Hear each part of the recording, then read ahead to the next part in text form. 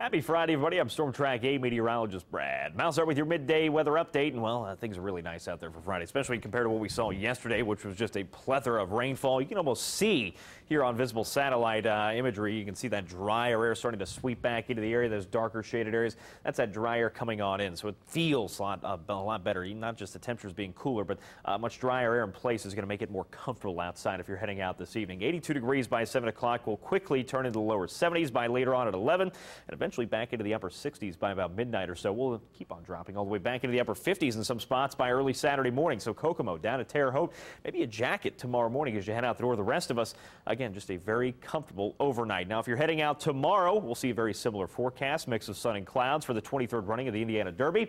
Temperatures going to be struggling to hit that 80 degree mark through the afternoon hours. This is one of our top eight things to do in Indianapolis this weekend. Again, just really, really nice out there for your Saturday. Now, Sunday, that's when things will start to change. We'll see at least least a chance for a strong storm in the eastern half of the state for Sunday, but it's going to be pretty isolated chances. Not a whole lot of storms. The ones that do pop up, though, like I said, could be on the strong side. So we'll keep a close eye on Sunday and Monday before things taper off Monday afternoon. Tuesday looks really nice as well. Plenty of sunshine, but look at the rebound in temperatures. We're back to 90 degrees for Tuesday, 92 by Wednesday, and we'll stick there with better rain chances through the second half of next week.